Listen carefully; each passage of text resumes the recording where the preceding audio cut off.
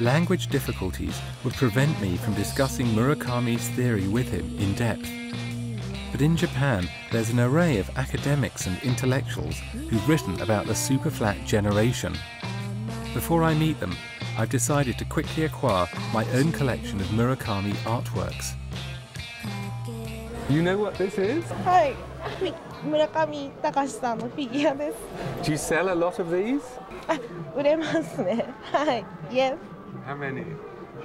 まあ一週間になんだろう、こ5個くらいとか。はい。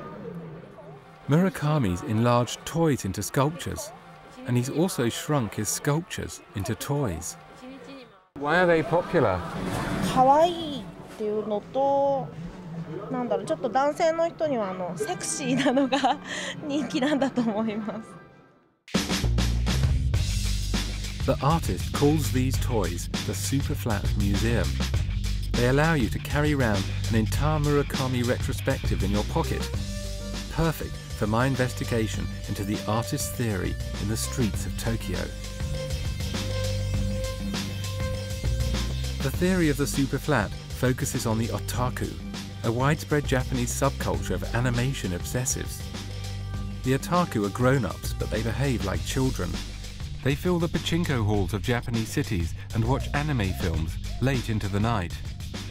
And in Murakami's book of the superflat, there's an essay by this otaku theorist. Which is your favourite? はい。おっと。だからこれがあのさっき言ったこの目がいっぱいあるやつですよね。日本のアニメーション とかっていうのは例えば目がすごく大きい。なんでじゃあ例えば日本のあのオタクたちっていうのは二次元のね、ああいうその普通にアニメに書かれたあのえー、と女の子っていうものに対して例えば性欲を覚えるのかとかそういう問題とこう深く深く結びついてるわけですね。